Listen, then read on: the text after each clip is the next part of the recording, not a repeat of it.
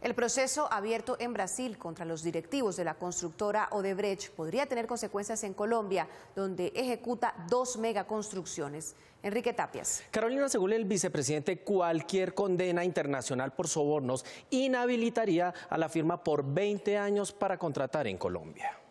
Tras la captura del presidente de la constructora Odebrecht de Brasil por presuntamente pagar sobornos para contratar con Petrobras, el gobierno colombiano puso bajo la lupa a la empresa brasilera. El gobierno nacional ha tomado la decisión de solicitar que se haga un due diligence, una investigación muy profunda, antes de suscribir cualquier contrato. Según el vicepresidente, si se confirma cualquier tipo de actividad ilegal de Odebrecht a nivel internacional, esta compañía o cualquiera que incurra en estas prácticas sería sancionada en Colombia de acuerdo al Estatuto Anticorrupción. Prevé que cualquier condena internacional en materia de soborno inhabilitará a una firma por 20 años para contratar en nuestro país. Actualmente la empresa brasilera tiene varios contratos de infraestructura en Colombia. Tiene varios contratos en Colombia.